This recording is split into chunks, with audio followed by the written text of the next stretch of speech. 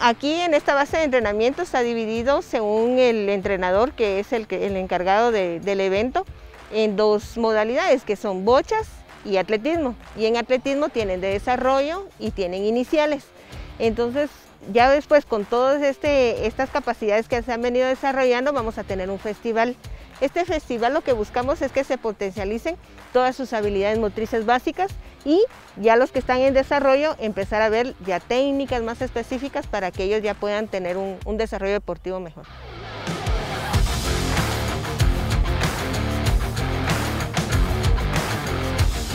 Estamos el día de hoy en una base de entrenamiento en el cual estamos enfocándonos a los jóvenes atletas, tanto fuerza, resistencia y trabajo técnico, ya que cada joven está en diferentes ramas de deporte, como por ejemplo Dylan es un atleta en el cual él trabaja tanto resistencia, coordinación y esto le ayuda mucho también para seguir haciendo su deporte.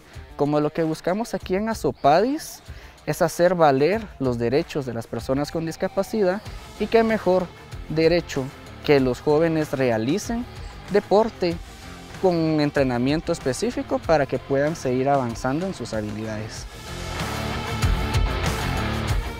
Nosotros ahora con, con, estas bases de entrenamiento, con los festivales, con capacitaciones que se hacen a nivel nacional, lo que buscamos es de que ellos ya tengan eh, una base específica de desarrollo deportivo porque no es algo recreativo o algo que no tenga un objetivo específico, ¿verdad? Sino que lo que buscamos es de que ellos ya puedan empezar a iniciarse en el deporte federal.